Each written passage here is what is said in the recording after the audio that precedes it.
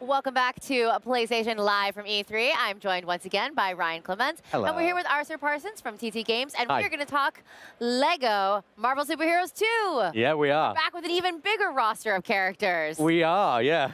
Absolutely, yeah. Back with a sequel to 2013's Lego Marvel Superheroes. And uh, yeah, we as a team are just super stoked to be back doing this thing, original story, throwing characters together, uh, and having a ball. You know, having fun making video games. That's what it's all about, right? I have to ask right off the bat, and I think we've even talked about this before.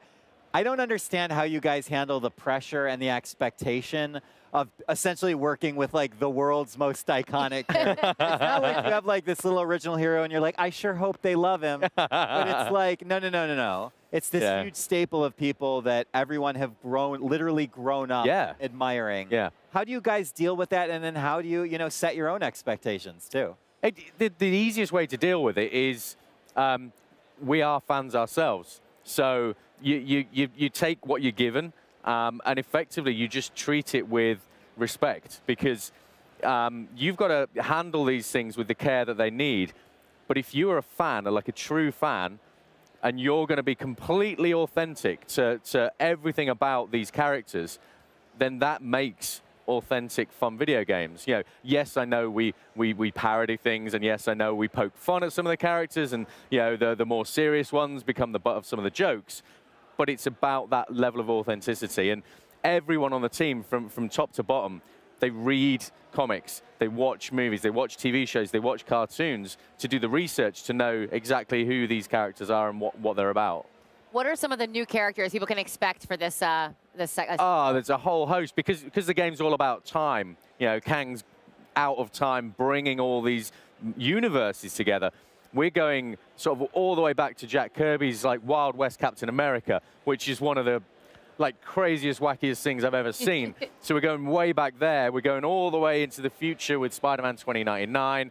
Yeah, we're going all different tandems like you know the Hydra Empire. We're going to, believe it or not, medieval England. Um, Why not? Right. who knew that there was a whole Yeah. host of medieval English like superheroes and villains? Um, So how yeah. does the time link all of the characters' stories together? Because they're they're Yeah. all from different universes, they're all from different worlds. How are we going to link it all together? Yeah, so so th- the idea is that, that Kang has come.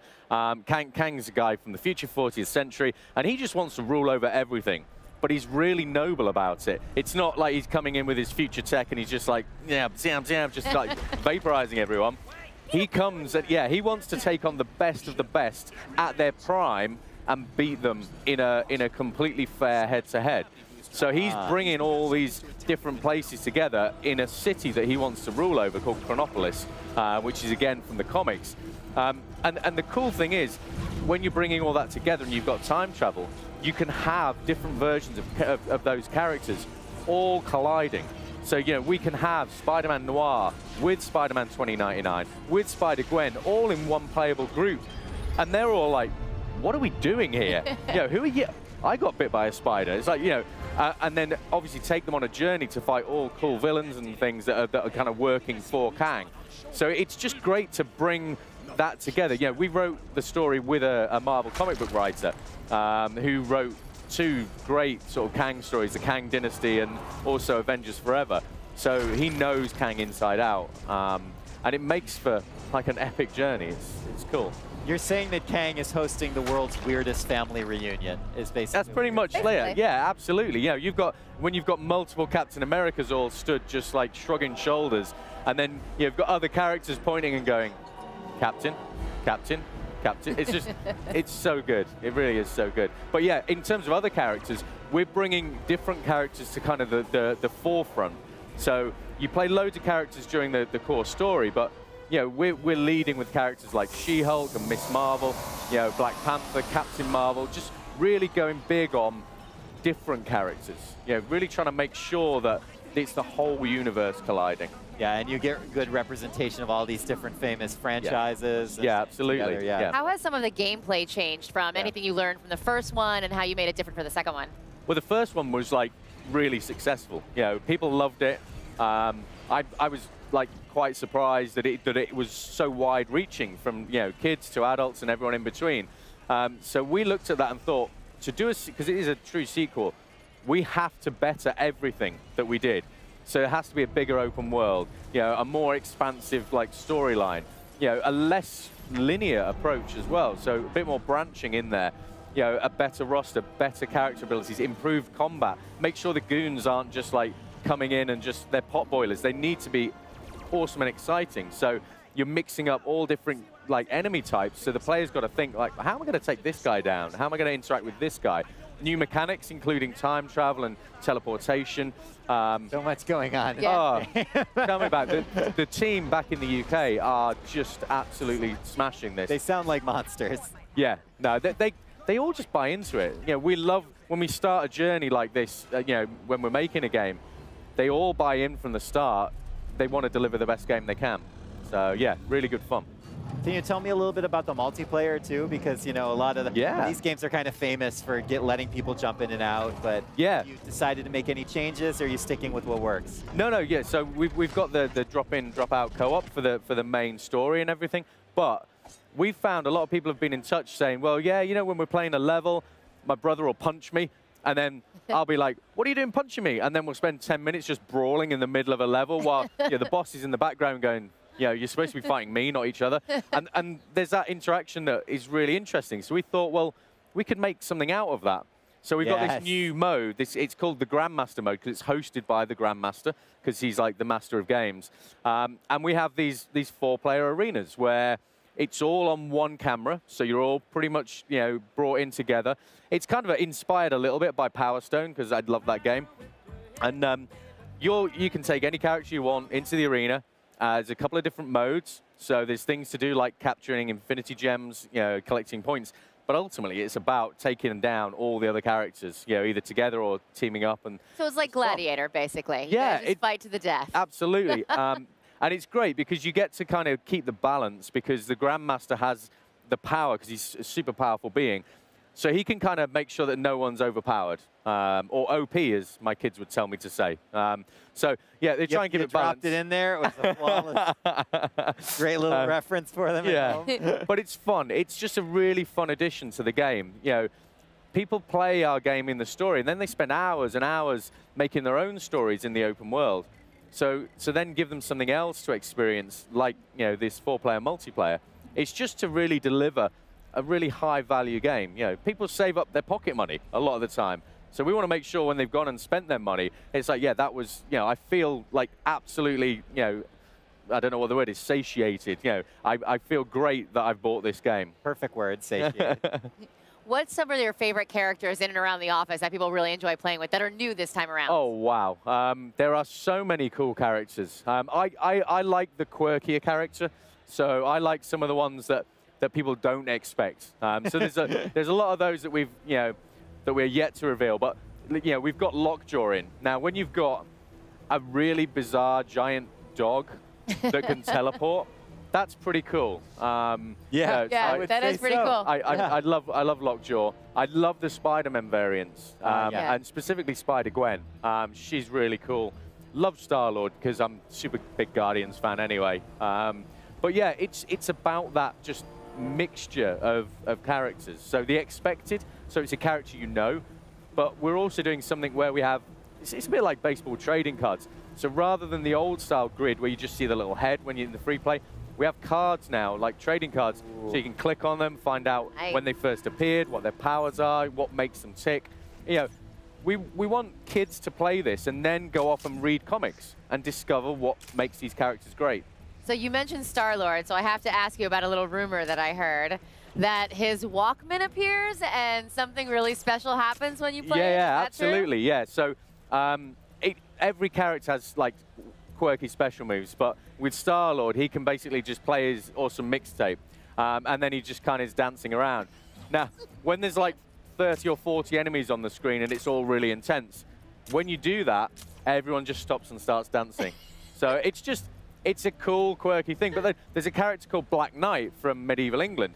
Well, he has a similar move, but he pulls out a lute and starts playing Greensleeves. So Oh my God. yes. it's um, yeah, it's all cool, quirky stuff. Um, our animation team kind of just just smash it. he could also play Scarborough Fair. That would be really great. I would really appreciate that. Maybe just as a bonus, like a DLC. Nice. I like it. Throw that like in it. Yeah. I only have one more question. Yeah, no, don't mind, great. Meredith. Uh, give me a, just a little hint, you know, a little inside the inside the studio as to when you guys start. Like, oh, we want to put Star Lord into the game. How does it kind of build up into the the Star Lord that you get? I mean, does it start with like the research, and then Yep. where does it go from there? I because that's the research uh, is obvious, but then what comes Yeah. after that? It, it is it is a case of the research, but the research you'd think with someone like Star Lord is, you know, oh yeah, well we'll go and watch the movie and then we know what we're doing. But it, it's not. it's about researching every different bit. So you know, if Star Lord's in cartoons, watch some cartoons. If Star Lord's in comics, you know, what you know, read those comics. But distill the character down to the bare essentials of what make him cool. And that's that's across the board with every character. So we take it all the way back to nothing and then go, right, what would make this character cool? And it's, you know, Star-Lord's an easy one, but when you're approaching certain characters, you know, then you have to just dig a little bit deeper, and, and you are going deep into the reference. And then you're thinking, right, button inputs. Because we, we make sure every button has to do something. You pick that pad up and press a button, you don't want the character to do nothing. They have to do something. Right. So then that's how you build up this layering of how you make the character cool. Um, and, and then we sit down with the animation team and, and we'll be going, oh, yeah, we want them to do this, this, and this. And then the animation team are like, uh, we want Spider-Gwen to get a drum set out um, from the Mary Janes and do a cool thing where she plays drums. And then you're like, okay, that's cool, we'll do that. So yeah, it's, it's about, you know, just all pulling our creative energies together. Um, it is so much fun working on a character by character basis to, to, to bring these out. It's like even Captain America, who we've done previously, this time around, he's got loads of new moves. So you can actually hold a button and he'll flip his shield up and then stand on it and he'll slide so you can just like power through enemies and it's it's great. I love working on I love working on Lego I, games. I can tell. Seems like you're a big fan. yeah, yeah, absolutely. That's all I awesome. got, Well, The only other question I have is, where did you get your shirt, and does it come in my size? yeah, we we didn't even know we were getting these. So we, we turned up at E3 and I was like, yeah, I go and bought a load of new Marvel shirts. I thought, yeah, I'm all ready. And then it was like, no, here we go. And so we, we have four. There's a Kang one, a Hulk one, Oh. uh, Baby Groot one, um, Groot? and, a, and a s- yeah, and a Spider Gwen one. So yeah, they're pretty cool. We'll I'm sure, I'm sure we can yeah. dig some we'll, we'll, yeah. we'll, find something. Yeah. All right, guys. Well, thank you, Arthur, so much. Thank okay. you, Ryan, for joining me up here. We'll have a lot more about LEGO Marvel Super Heroes 2 coming very soon. Stick around for a lot more here today on PlayStation Live from E3. PlayStation.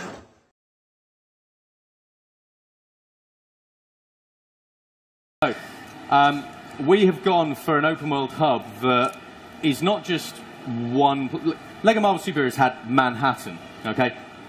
Our game here, Lego Marvel Superheroes 2, is set in a city called Chronopolis, which is Kang's brought all of these areas together. So you'll have Manhattan. Um, so Manhattan here is, is snowy. There's a very good reason why it's snowy. And that's because it's next to the mountains of Kunlun which is next to a whole host of other different locations. So Phil's going to basically give us a tour as, as, as we're looking around and yeah, It's beautiful. I mean, it just looks so incredible. yeah, this is just a, a tiny, tiny piece of it. Um, so when, when Phil's been playing around with Spider-Man Noir, which is Impressive. yeah, uh, which is one of a myriad of Spider-Men, by the way, in this game, because everyone loves different Spider-Man characters. But there is also um, in sort of Chronopolis, you've got Wakanda, you've got Sakaar, which is where uh, Thor Ragnarok is, is going to be set. You've also got various versions of Manhattan. We've got an underwater city. So I think what if, what we can do is um, probably get Star Lord to fly around. He might be a bit quicker. Um, the time. Yeah, and the new storyline takes inspiration from Marvel's Avengers Forever comic series, as well as Marvel's Kang Dynasty, also called Kang War comic series. So, I, I kind of talk a little bit about that. Yeah, so the, the, the idea with Chronopolis is that it's it's a city that's been ripped out of time because it's it's basically Kang's way of having his fingers in all the different pies. And because of the way it's kind of pieced together, you can pretty much do like everything and, and go anywhere. Um, obviously not right right this second because Spider-Man's doing his own thing, right? but the whole premise of this open world hub is that we're going to have a, a slice of everyone's favourite different location. Uh, Phil, can you go in the map, Phil? Is that working? Yep. Okay, so yeah, if we look in the map, this is a live map, so you can come straight out into the live map.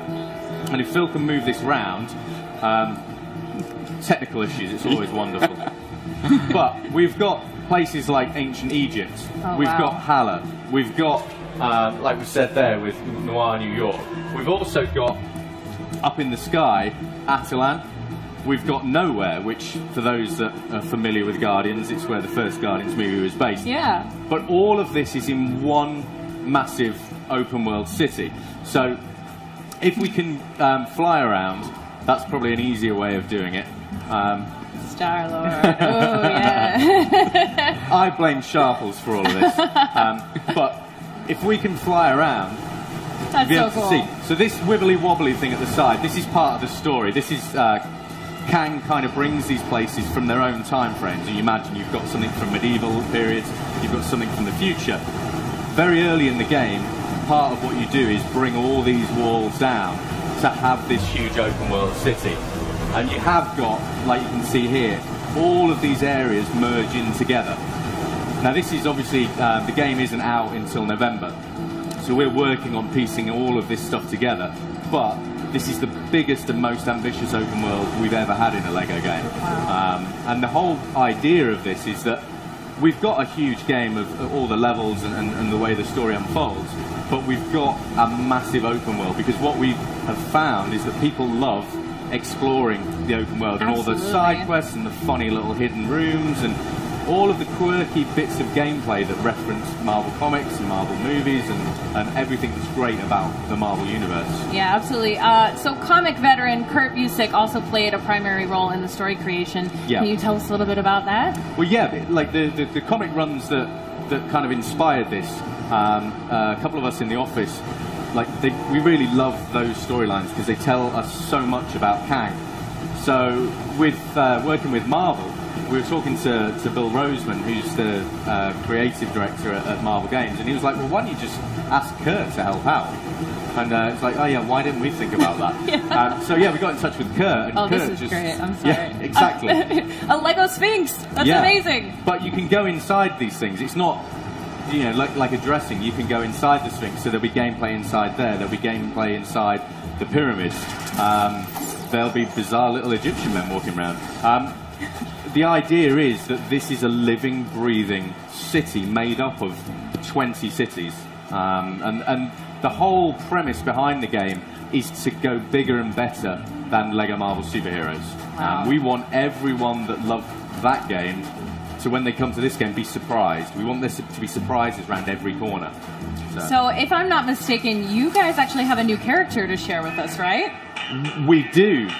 Um, Star Wars is going to have a little bit of a dance first, clearly. It's very fitting. Yeah, absolutely. And, and this is something that obviously we care about a lot at TT Games is the personality. Um, Absolutely. but yeah, if, if Phil can uh, bring us in a, a, a quirky new character that's, that's new to the game, and you'll see there's loads of hidden characters um, that are yet to be revealed.